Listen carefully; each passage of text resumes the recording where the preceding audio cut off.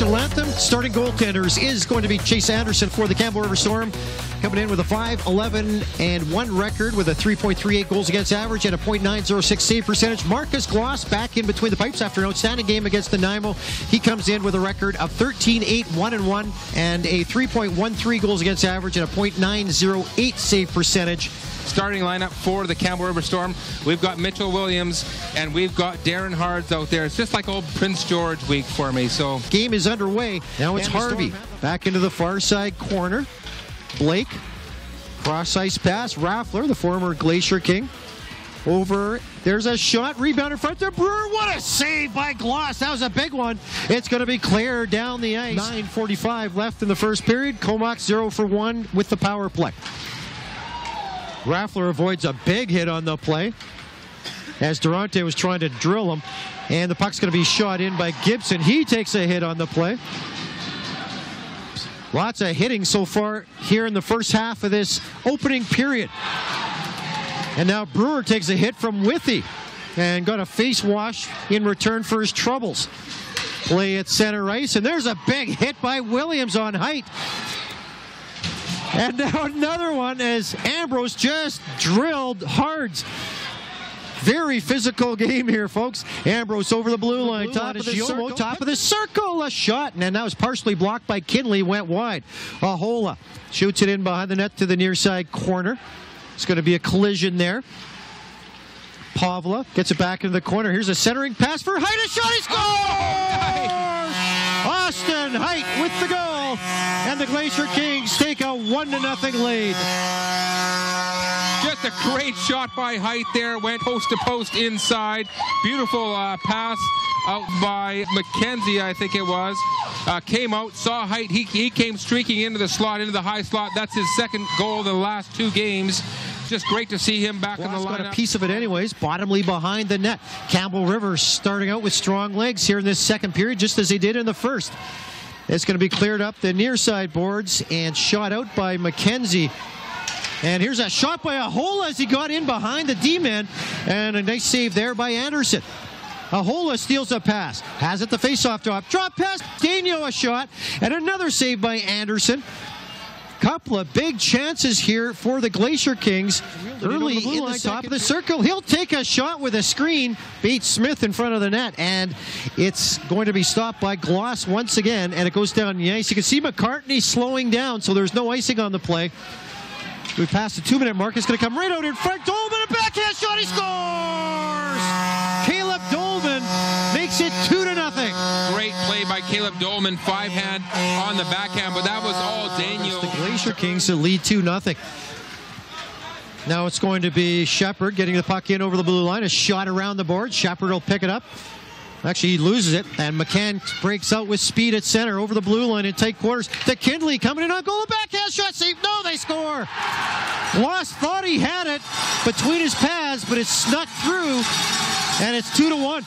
Yeah, that's a really tough one there because you know, Gloss has made so many fantastic saves Stop. all night. and shot back out to center ice. Nice play there by Durante. Campbell River brings it back over the blue line. Nice move by Blake coming in over the line. He's hit from behind. Nice check there by Withy. Withy's been very aggressive out there in his limited ice time. Now Withy's drilled down to the ice on a huge hit by Hards. Hards really throwing his weight around. Turning point here, 6.51 left in the second period. That's a four minute penalty to Ambrose, so it's a double minor. Obviously, Blake was cut on the play. On Smith, almost on on breakaway. Here comes Earhart, top of the circle, side of the net. The shot, they score. And it's Hikichi with the goal. 2-2 now, of course, the score. And that, that penalty, because it was four minutes, is only going to so get everyone else. Puck comes back out. It's going to be tipped out by Hards and down the ice. And Lakota Joe, you know, he's Hards is going to hit anybody he can see anytime he can. Smith loses the puck. It is a backhand shot off the post. No, it's in. That's a goal that went off the inside bar and back out. I think that was Blake that might have scored that. Yeah, the Glacier Kings are thinking that didn't actually go in there, so it's kind of surprising. It was Colin Blake with the goal. It looked like it went uh, post to post there, but Wheeldon fighting for the puck right now, gets it into the near side corner, taken by Bates Smith. A blind pass up the near side, going to be intercepted by McCann. McCann will stay out there. Gioma wins the face-off though, and Faber gets nailed down to the ice. And here's a shot, and they score. And that looks like McCann with the goal. I was watching Faber behind the net. that was all on Wheeldon. Wheeldon with an absolutely huge hit, and it's all started with him behind the net. Now, Marcus Gloss is going off here behind the play. He's going off to the dressing room. Not sure what's happening, but Marovich has come into goal now for the Glacier Kings. Gloss is just going off the uh, to the dressing room. I didn't see what happened to him, but he's line. he's hurt. Gains the red and shoots it in. It's a high shot over top of the crossbar. Marovich thought about gloving it, but thought better of it afterwards. Here's a turnaround shot saved by Marovich. The hitting continues along that far side boards right now. Harvey cross ice for McCartney. Nice pass for Williams. He's going to go between both defensemen. A shot, he scores. What a shot by Williams. Top corner on Marovich. 17-28 the time of that goal by gonna be flipped Williams to center. 13 seconds left. Raffler inside his own blue line with it. He's going to skate it up to the red. Now the blue. All by himself. One on five. So he still has the puck though. Still has it in his skates. And finally goes in behind the net. And thankfully for the Glacier Kings, the buzzer sounds.